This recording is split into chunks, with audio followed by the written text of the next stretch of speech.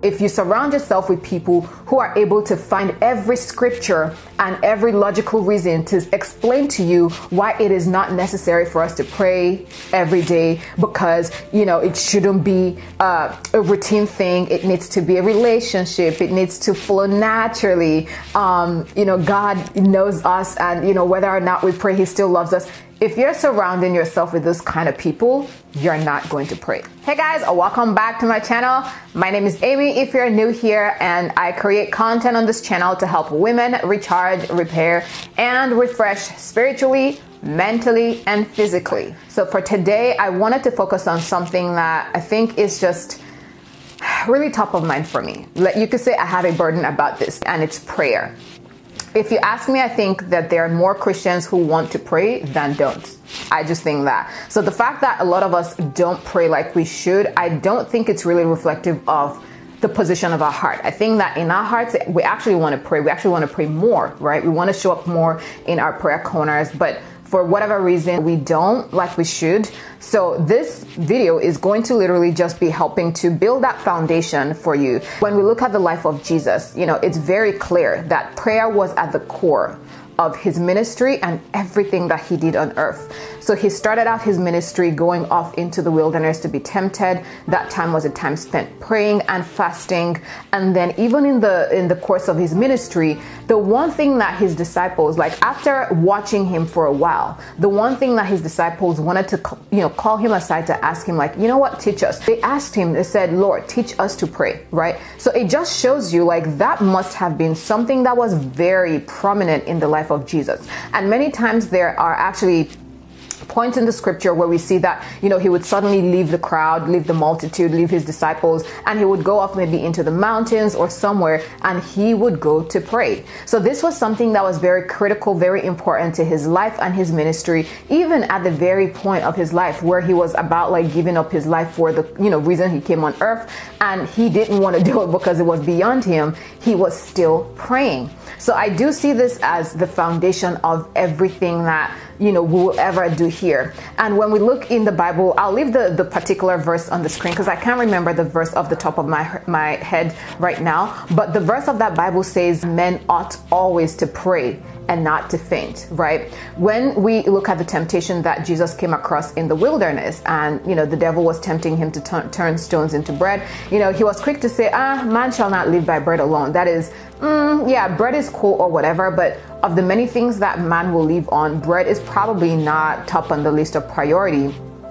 But when it comes to prayer, Jesus is literally telling us men ought always to pray and not faint.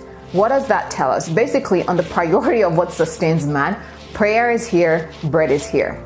So that's the reason why I want to take the time to talk about prayer for the next few videos and sort of build that foundation and hopefully light a fire in your own life so that you can take charge of your prayer life and see, you know, a lot of growth and, um, you know, even the re- results in your own life of spending um, all this time in prayer. So let's get into the video. So the focus of this video, being the first in the series, is basically going to be helping to create uh, an enabling environment that helps you pray. So the first thing that I wrote down as far as creating a habit of praying, a daily habit of praying, is making sure to create it, make it a priority.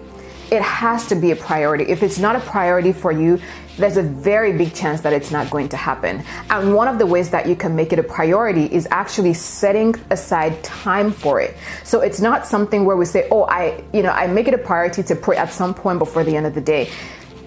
You know, that's like I, would say halfway there. If you want to fully commit, right, like really be in this thing, you need to set a time. Because what I found, at least for me as a mom, as a wife, um, as an employee, right, I have a job and a business owner. If I don't make time for it, there's a very big chance that I'll get to the end of the day and I haven't actually got the time, had the time to pray throughout the day. So this is something that you're going to need to take charge of and be very deliberate about setting aside time for it. Again, I mentioned Jesus earlier. I said this was something that he did all the time. Jesus would take out time, leave people, go off into the mountains and pray. He didn't wait to be given time off because sometimes we'd see that like he'd come back and like a bunch of people are waiting for him. But Jesus knew that there was no way that he could perform or do his ministry the way that it needed to be done if he didn't spend that time with the Father right? So same thing for us, you know, as busy as we are being amazing wives and moms and, you know, business owners and boss babes and all of that, it's very important for us to create that time for prayer. If you need to set an alarm for it, do that. I do. So I put an alarm, no matter how tired I am, I have to wake up for it. And it actually guides the time that I go to bed the night before. Because if I know I have to be up early in the morning to pray, then I have no time to be lazing around watching Netflix. Second tip, I think I actually already touched on that just a little bit, but the second tip is choose the best time of the day that works for you. Now, there was a time when I, I wondered if it would work for me to do like my prayers at night. And when I tell you that a lot of the times, at the end of the day, I just fall into bed. I fall in the bed because I am tired. So yeah, I just know that it can't work for me. Like by the time I clock out from work at six, then I have to attend to my family, I have to attend to my kids, I have to attend to some business matters. Let me tell you, the likelihood that I will fall asleep is very high. So chances are I'm not gonna get to pray if I put prayer at the end of the day in the night. So at night, yeah, I still get to do the short prayer where I just like, you know, acknowledge God for the day and place anything that's, you know, in my heart as a word before him and things like that. But when I'm talking about really spending time in the place of prayer and digging deep, I can only do that in the morning. So figure out what time of the day works for you based on your lifestyle and based on your, I don't know, your habits, your preferences. Yeah. And I think it'll help you show up and be consistent with it. The third thing that you can do is not just, you know, look at prayer as like a box that we tick where we just like do it and just like, whoo, I'm done. like I met the requirement for the day. I'm out. Like don't, don't nobody bother me about this anymore because I'm done with it for the day. No, I think that a good thing that would help your prayer life actually have life in it is to weave it throughout your day. Let it be a part of your entire day. So how does that mean or how does that look or you know what do I mean by that? Is actually letting it be a conscious part of your mind. So it doesn't mean that like once you pray in the morning or in the evening or whatever you're done. Say you're doing dishes like what are you using your time for? You pray. Something that i enjoy doing is you know using my drive time like when i'm driving to maybe the grocery store or taking the kids to school you know when they allow me hear my own thoughts is praying right in my mind. So it doesn't mean that like oh now that i filled up my quota for the day because i showed up in the morning i'm out like see you all. No.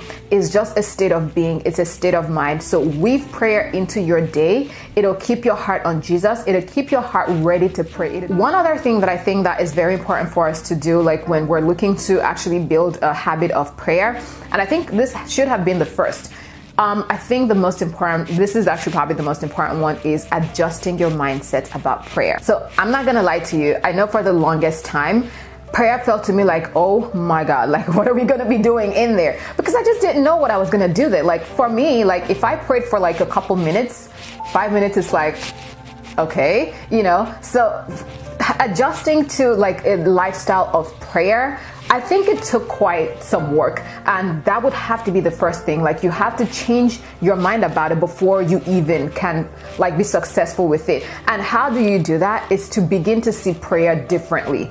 Don't look at it as a chore, don't look at it as a, a sentence that's being pronounced over you, right? Look at it as a lifestyle, look at it as a relationship building exercise. Let's say two people in a dating situation or even a friendship building situation. How does it start? It starts with talking to each other.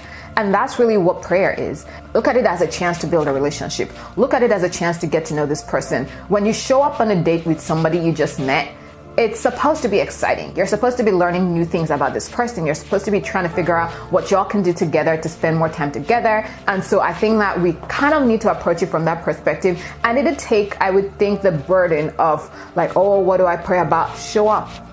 Just show up. That's it. Start with showing up. How do I mean by showing up? I mean literally taking yourself there and just sitting there. Last year, when I was going through a lot of grief and I just couldn't be I didn't know how to get back into prayer because I just felt too broken because it, it, felt like the biggest thing in my whole life had been taken from me. Like the, the ground that I was standing on was pulled off, the covering over me was yanked off, the pillar that supported the structure of my life was taken from me when my dad passed. And so I just didn't feel like I could show up in the place of prayer because I just had nothing to say. I had nothing to say but questions. And so that happened for a while. And eventually I realized, you know what? This is not really who I am or who I want to be. I do know that I'm in pain. I know that I'm in grief but the person that I am seeks a relationship with Jesus. And so, what did I do? I literally just showed up there. That was it. So, for days, I would show up there, and this is not me at the beginning of my prayer journey. So, I would show up there every morning and just sit. Honestly, I would just sit there, and whatever came to mind, I said it.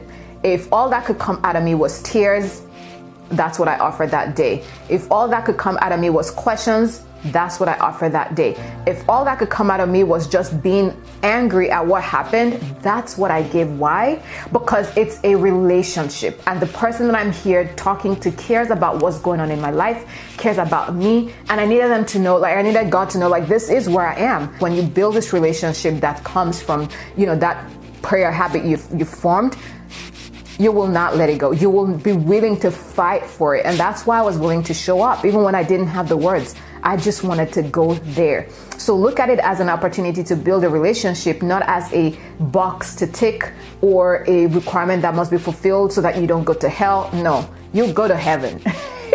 You'll be just fine. But this gives you that opportunity to build a relationship with your Savior. And so the next thing that I want to share that I think is very important is to build yourself up in the place of prayer. And what do I mean by that is start with where you are. Start small and then build it up.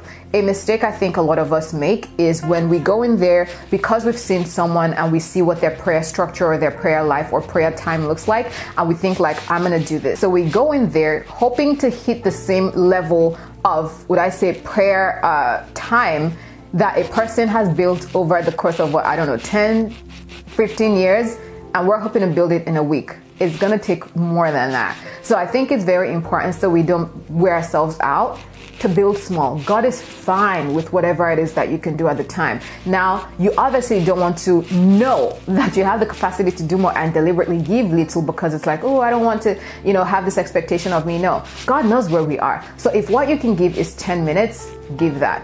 If what you can give is 15, 30, 45, an hour, two hours, Wherever you are, start from there and build it up. And you'll know when your spirit has expanded to where you can do more time in the place of prayer. So follow the pace of God, follow God and just let Him lead you. Because, yeah, if, I think if I started like, oh, I'm going to show up for 10 hours at a time, I would have probably been done with it like within a week or so. So you want to start with something that you can be consistent with and then build on that. Eventually, you'll know when you're ready for the next level. Another thing that you need to do, or that you could do, I think it might help, is to get yourself a prayer partner or a prayer group, right? Um, the Bible lets us know that, you know, two are better than one, for they get a good reward for their labor. So if you're struggling with building this prayer habit, this prayer lifestyle, you could pair up with somebody else who's looking to do the same thing, um, and then you guys just go together with it. So for me, it was my husband. So we were basically like, listen, we need to stop playing around. We need to build ourselves in the place of prayer. We kept doing that and it really kept both of us going because when you feel weak, you see the other person and you're like, oh, I can draw on from the strength of this person. So I think in the beginning, it helps to have a prayer partner. Eventually, you guys will grow in different ways, and I think it'll be based on your calling, your consecration, um, you know, different things, your capacity, right? But initially, it helps to just start with someone, and then you guys can can you know like support each other. And once you've gotten to that point where it's now become a part of who you are, you you probably not need them to keep it going anymore. But in the beginning, it helps. And then apart from even having that person to kind of like, you know, kind of holding you up, it also helps to teach you how to pray. Because I think that that's one of the things that I struggled with when I just started praying was I, as long as I'd been a Christian, I realized that I didn't really know how to pray by myself. Like, outside of like the leadership of maybe like a prayer leader or like a church or a pastor like giving the prayer charge i didn't know how to drive or lead my own prayers and so that's going to be the next video that i'm going to do is actually how to actually pray right? Some tips to to employ to make your prayer time, you know, productive. So yeah, start with people and you know you'll know when it you know it's time to go off on your own. The last and final tip that I'm going to share today is when you start this journey of building a life of prayer, surround yourself with like-minded people. If you're looking to build a lifestyle of prayer where you show up on your prayer altar every day to, you know, like, you know, pray, if you're around people who are preaching hyper grace, like, oh, God knows us, God sees us where we are, God loves us all the same, you know, we're all gonna go to heaven, da da da da da, you're not gonna pray. That's it. So if you surround yourself with people who are able to find every scripture and every logical reason to explain to you why it is not necessary for us to pray every day because, you know, it shouldn't be uh, a routine thing. It needs to be a relationship. It needs to flow naturally. Um, you know, God knows us and, you know, whether or not we pray, He still loves us if you're surrounding yourself with those kind of people, you're not going to pray.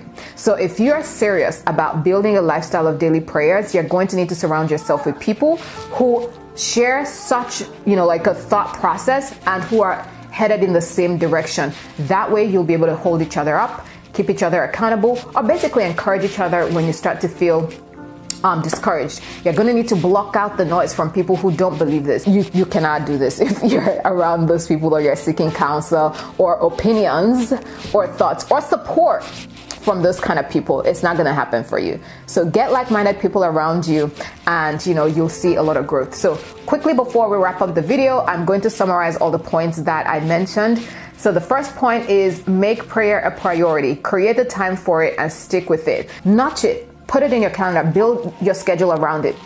Second thing is choose the best time of the day for your lifestyle for yourself. The third thing is weave it into your daily lifestyle throughout the day. Fourth point is adjusting your mindset. See it as a relationship, something that you get to do, not something that you have to do. Next point was to build up yourself in the place of prayer. Essentially, start with where you are, start with what your capacity can accommodate and build up. The next thing was get a prayer partner or a prayer group. It helps you to build consistency and confidence. Final point that I mentioned was surrounding yourself with like-minded people. So I hope these points have helped and I can't wait to hear from you guys. Let me know what your thoughts are around, you know, building prayer, uh, a prayer lifestyle. If you have any tips for other people who may watch the video, feel free to leave them in the comments below. But this year we're going for it, right? We're going for it. We're going to stand up, we're going to show up in the place of prayer, and we're going to effect the changes in our lives that need to happen. We're not going to wait for people. We're not going to be waiting for somebody to help us with this and stand with us. No, we're going to stand in the place of prayer